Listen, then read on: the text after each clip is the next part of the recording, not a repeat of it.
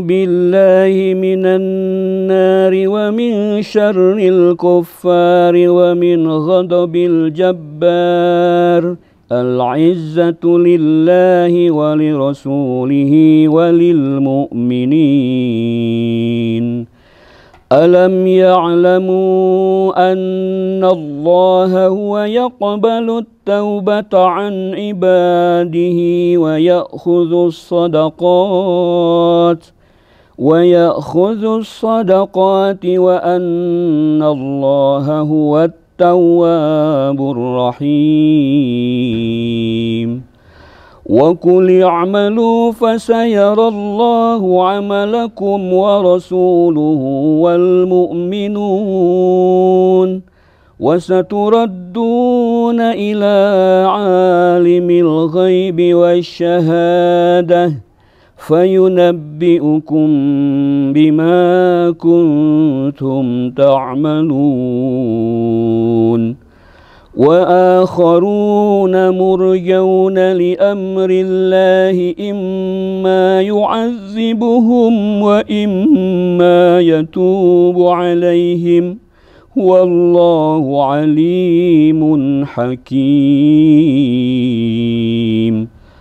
والذين اتخذوا مسجدا ضرارا وكفرا وتفريقا بين المؤمنين وإرصادا وإرصادا لمن حارب الله ورسوله من قبل.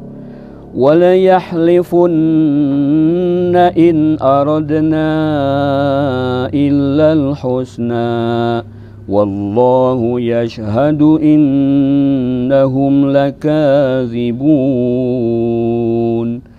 لا تقم فيه أبداً لمسجد أسس على التقوى من أول يوم أحق أن تقوم فيه. فيه رجال يحبون أن يتطهروا والله يحب المطهرين. أفمن أسس بنيانه على تقوى من الله ورضوان خير أم من أسس بنيانه أمن أسس بنيانه على شفا جرف هار فأنهار به في نار جهنم والله لا يهدي القوم الظالمين.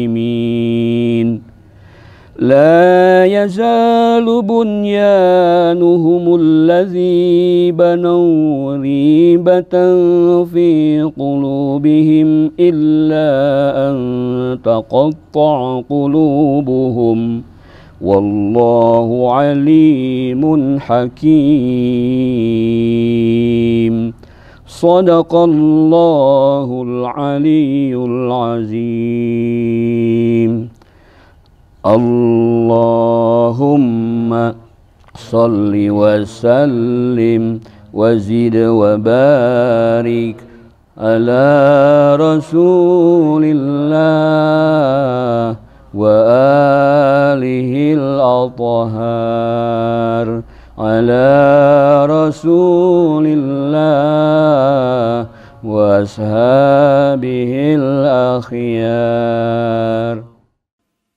Bismillahirrahmanirrahim. Assalamualaikum warahmatullahi wabarakatuh. Alhamdulillahirabbil alamin wa ala sayyidil mursalin wa ala alihi thayyibin at-tahirin wa ashabihi al-muntajabin al-akrumin. Qala Allah Ta'ala fi kitabihil karim a'udzu billahi samiil alim minasyaitonir rajim. Bismillahirrahmanirrahim. Inna a'tainakal kautsar fasalli li rabbika wanhar inna syani'aka huwal abtar. Faqala Nabi sallallahu alaihi wa alihi wasallam fi khutbatin fi istiqbali syahri Ramadan warfa'u ilaihi aydiyakum bidu'ain fi awqati salatikum. Alhamdulillah kita telah memasuki bulan Ramadan dan mudah-mudahan Ramadan ini adalah bulan yang memberikan keberkahan untuk kita semua. Salah satu uh, khutbah yang disampaikan oleh Rasulullah Shallallahu Alaihi Wasallam ketika menyambut bulan Ramadan adalah berkaitan dengan doa. Dan kita ketahui semua bahwa doa di dalam Islam ini memiliki satu tempat yang sangat luar biasa. Kita sangat hafal dengan sebuah hadis dari Rasulullah Shallallahu Alaihi wa alihi Wasallam berkaitan dengan doa. Ad-doa mukul ibadah bahwa doa ini adalah inti dari ibadah.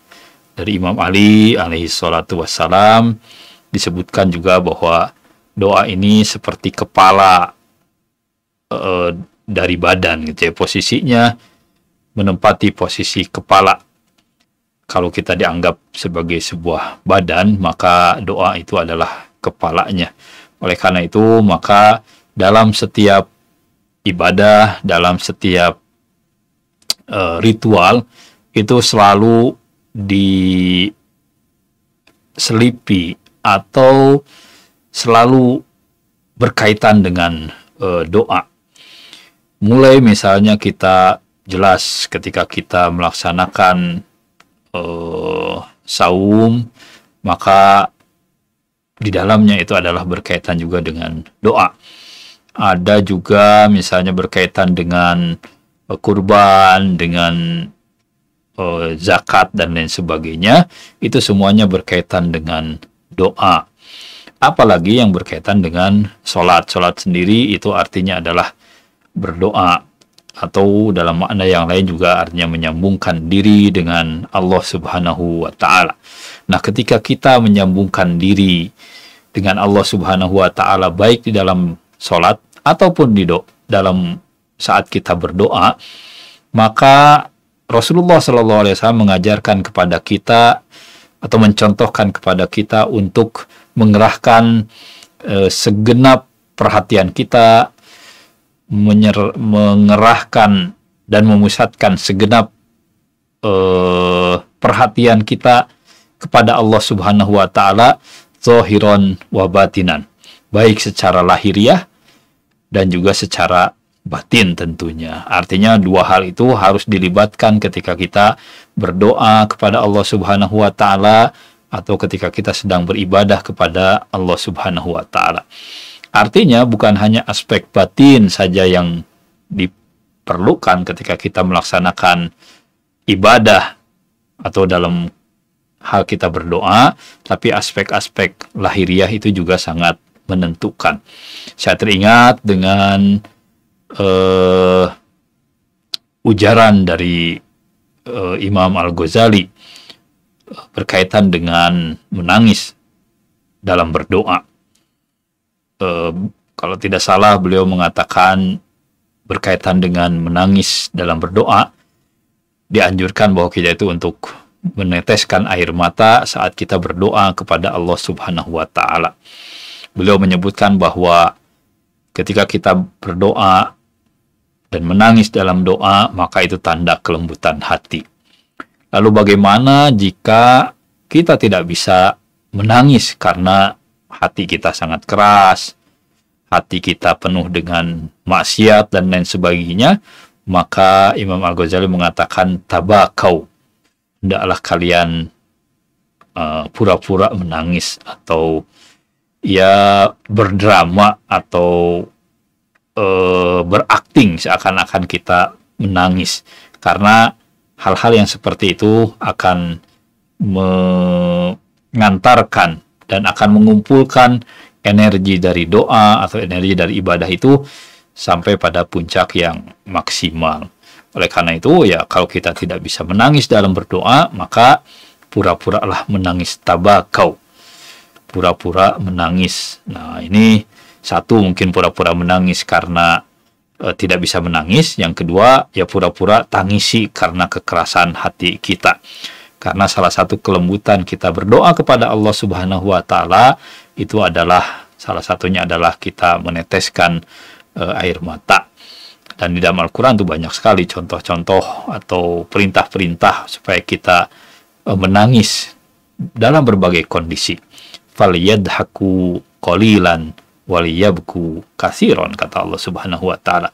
Hendaklah kalian uh, tertawanya sedikit dan menangisnya itu yang banyak. Faliyabku kasiron. Menangislah yang banyak. Kemudian juga ada perintah misalnya supaya khorru sujadan wabukiya. Khorru itu artinya uh, tunduk, uh, bersujud, tersungkur. Uh, sujadan, bersujud, wabukiya sambil kita itu menangis. Artinya menangis itu merupakan satu gerakan lahiriah yang diperlukan untuk mendukung uh, apa namanya mendukung suasana atau mendukung aura saat kita berdoa. Artinya tadi gerakan batiniah itu bisa saja muncul dari gerakan uh, lahiriah. Pura-pura menangis bisa itu bisa memunculkan kesahduan, kerinduan dan kedekatan dengan Allah Subhanahu wa taala atau sebaliknya. Jadi dari mana saja kita uh, apa bisa memunculkan kesahduan dan kerinduan itu bisa mulai dari yang lahiriah duluan atau bisa mulai dari yang e, batiniah. Itu tergantung dari mana kita e, memulai dan dari mana kita mulai tersentuhnya. Ada orang yang memang tersentuh dengan hal-hal yang sifatnya e, batiniah. Mendengar bacaan yang luar biasa misalnya ketika kita mendengarkan sahifah e, saja dia dan luar biasa kalimat-kalimatnya sangat syahdu mendekatkan kita kepada Allah Subhanahu wa taala tiba-tiba air matanya menetes. Saya pernah me, atau sering kali menga, me, mengajak para jemaah haji untuk membekali e, doa mereka dengan doa-doa yang dalam bahasa Indonesia dengan doa-doa yang e, saya kutip misalnya dari doa kumel dan saya bagi-bagi itu doanya menjadi tujuh uh, tujuh bagian. Bagian satu untuk tawaf pertama, bagian dua, terus sampai tawaf yang ketujuh saya bagi-bagi. Dan itu saya suruh kepada para jemaah itu untuk membaca terjemahannya saja. Karena dengan membaca terjemahan, mereka akan lebih memahami doa tersebut dan akan lebih mendalami doa. Dan apa kata mereka? Mereka betul-betul tersentuh dengan doa-doa seperti itu. Bagaimana ketika kita sedang berkeliling di Ka'bah, kita berdoa dengan suara yang keras dan lantang, kemudian ya, di antara gemuruh jemaah-jemaah lain yang juga berdoa kepada Allah dengan berbagai macam eh, bahasa. Itu dilakukan dan mereka mendapatkan sentuhan yang luar biasa saat mereka berdoa dengan doa yang diinikan. Kemudian juga sambil mengangkat tangan dan lain sebagainya. Nah, Uh, Rasulullah Shallallahu Alaihi Wasallam dalam khutbah uh, Ramadan itu juga uh, menganjurkan kepada kita untuk melakukan gerakan-gerakan lahiriah untuk mendukung doa kita, gerakan kita. Karena apa? Tadi bahwa uh, kesahduan atau keterikatan kita dengan doa itu bisa muncul dari mungkin dari hal yang batinnya atau dari hal yang uh, lahiriah tadi. Misalnya tadi menangis, uh, apa namanya mengangkat tangan dan lain sebagainya itu bisa mengantarkan kita kepada ini. Oleh karena itu maka dalam adabnya salah satu adab dalam berdoa itu adalah al khudu. Khudu itu artinya yang merendahkan diri di hadapan Allah Subhanahu wa taala. Tidak mengangkat kepalanya, tidak menoleh ke sana kemari. Nah, itu adalah uh, gerak-gerik lahiriah yang akan mendukung uh, apa aura atau mendukung uh, apa uh, cara kita berdoa kepada Allah Subhanahu wa taala sehingga kita mendapatkan ketersambungan yang uh, cepat kepada doa dan kepada Allah Subhanahu wa taala. Karena itu yang dipentingkan. Oleh karena itu Rasulullah Shallallahu Alaihi Wasallam dalam khutbah Ramadan itu beliau mengatakan warfa'u ilaihi aidiakum bidu'ain fi awqati salatikum. Angkatlah oleh kalian tangan kalian bidu'ain dengan doa. dalam waktu-waktu uh, sholat kalian. Jadi mengangkat tangan misalnya ya, uh, mungkin juga ada yang lebih tinggi. Nah itu adalah cara untuk kita uh, secara lahiriah menampakkan bahwa kita itu memang sedang memerlukan ijabah doa dari Allah Subhanahu wa taala. Jadi bahasa badan ketika berdoa itu juga sangat penting. Jadi bukan hanya kalimat yang kita sampaikan kepada Allah Subhanahu wa taala itu sangat penting, tapi juga bahasa badan itu juga sangat penting. Doa-doa di dalam sahih dia mengajarkan kepada kita doa yang sangat lembut, doa yang sangat betul-betul merayu kepada Allah Subhanahu wa taala, bukan doa-doa yang menjadikan kita sebagai tuan dari Tuhan kita. Nah, karena kita tidak langsung meminta misal kepada Allah, ya Allah, kabulkan doa saya. Ya Allah, saya minta A. Ya Allah, saya minta B. Ya Allah, kalau tidak engkau kabulkan, maka tidak ada lagi yang menyembah engkau misalnya. Itu kita mengingat pada satu peristiwa beberapa tahun yang lalu misalnya seperti itu. Itu bukan doa-doa seperti itu akan tapi doa-doa yang betul-betul eh, seperti hubungan seorang kekasih, munajat kepada Allah Subhanahu wa taala. Nah, itu yang eh, apa namanya? diajarkan oleh Rasulullah. Oleh karena itu, maka posisi tubuh ketika kita berdoa itu juga sangat menentukan. Dalam hal ini kita mengangkat tangan kepada Allah Subhanahu wa taala, eh, berdoa kepada Allah Subhanahu wa taala dengan posisi yang penuh permintaan kepada Allah Subhanahu wa taala. Jadi bagaimana kita meminta kepada Allah? Jadilah kita seperti seorang yang betul-betul tidak memiliki dan itulah salah satu makna atau beberapa makna eh, takbir yang disebutkan di dalam eh, apa namanya? eh, salat kita. Di dalam salat kita takbir itu memberikan beberapa pemaknaan. Yang pertama takbir itu adalah tentang kefakiran dan kelemahan kita. Jadi ketika kita melaksanakan Allahu Akbar, angkat tangan, itu adalah kita mengagungkan Allah Subhanahu wa taala dan merendahkan kita serendah-rendahnya. Jangan sampai ketika kita takbir kita merasa melebihi kebesaran dan keagungan Allah Subhanahu wa taala sehingga kita dengan kata takbir itu berhak untuk menghukumi orang dengan kata-kata kafir dengan kata-kata pelecehan-pelecehan yang lain. Tidak. Jadi ketika kita mengangkat tangan, Allahu Akbar, maka di situlah kita harus merendahkan diri serendah-rendahnya dan mengagungkan Allah seagung-agungnya. Kemudian dalam keadaan kunut, kita mengangkat tangan kepada Allah Subhanahu wa taala, itu adalah tanda bahwa ke putus asaan kita kepada manusia kepada selain Allah Subhanahu wa taala. Kata Imam Ali, aku pernah mengalami berbagai macam kepahitan dan kepahitan yang paling pahit adalah berharap kepada selain Allah Subhanahu wa taala. Oleh karena itu, dalam keadaan kunut kita harus memutuskan segala harapan kita kepada selain Allah Subhanahu wa taala dan mengharapkan betul pertolongan dari Allah Subhanahu wa taala. Jadi kita angkat tangan dan kita uh, menunjukkan dalam bahasa badan kita dalam bahasa yang betul-betul fakir, bahasa yang betul-betul lemah, bahasa yang betul-betul miskin, bahasa yang betul-betul yaitu bahasa badan itu sangat diperlukan di dalam berdoa. Maka Rasulullah Shallallahu Alaihi Wasallam itu mengatakan irfa'u ilaihi aidiakum bidu'ain fi auqati solatikum.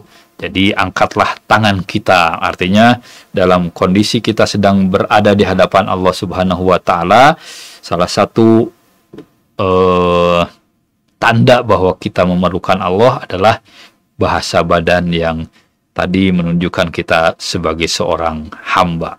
Jadi selain bahasa lisan dalam berdoa itu dipentingkan, maka bahasa uh, badan juga penting dalam mendukung keterkabulan uh, doa kita kepada uh, Allah Subhanahu wa taala. Nah, ini adalah salah satu adab yang diajarkan oleh Rasulullah Shallallahu Alaihi Wasallam dalam kita berdoa kepada Allah Subhanahu Wa Taala sehingga ketika kita dalam posisi yang paling bawah insya Allah Allah Subhanahu Wa Taala itu akan memberikan pengabulan doa kita dengan secepat-cepatnya karena semakin kita merunduk Allah Subhanahu wa taala akan segera memberikan bantuan dan mengijabah doanya kepada kita. Ramadan ini selain kita melatih lahir kita, badan kita, kita juga melatih batin kita. Mudah-mudahan sekeluarnya dari Ramadan antar hati dan badan kita betul-betul selaras dalam menumbuhkan kefakiran di hadapan Allah Subhanahu wa taala. Salah satu doa Rasulullah Shallallahu alaihi wasallam itu adalah ya Allah bangkitkan hidupkan aku dalam keadaan miskin atau dalam keadaan fakir, matikan aku dalam keadaan fakir dan bangkitkan aku dalam keadaan fakir. Fakir di sini bukan fakir dalam artian fakir harta, tapi betul-betul fakir wujudi. Ke, kewujudan kita itu betul-betul butuh kepada Allah Subhanahu wa taala. Mudah-mudahan doa ini juga menjadi doa kita dan menyadarkan kepada kita bahwa kita adalah orang-orang miskin di hadapan Allah Subhanahu wa taala dan kemiskinan itu bukan hanya batin kita yang miskin akan tapi juga lahir kita. Mudah-mudahan Allah Subhanahu wa taala memberikan kekuatan kepada kita untuk mengarungi kefakiran dalam kecintaan kepada Allah Subhanahu wa taala. Terima kasih. Wa ma taufiqi illa billah alaihi tawakkaltu wa ilahi unib. Wassalamualaikum warahmatullahi wabarakatuh. Bismillahirrahmanirrahim. Allahumma salli ala Sayyidina Muhammad wa ali Sayyidina Muhammad. اللهم حبب إلي فيه الإحسان وكره إلي فيه الفسوق والعصيان وحرم علي فيه السخط والنيران بعونك يا غياث المستغيثين Ya Allah, karuniakan kepadaku di bulan ini kecintaan terhadap kebaikan, rasa benci terhadap kefasikan dan kemaksiatan. Jauhkan aku dari murkamu dan siksa api neraka. Dengan pertolonganmu, wahai penolong, para pencari pertolongan.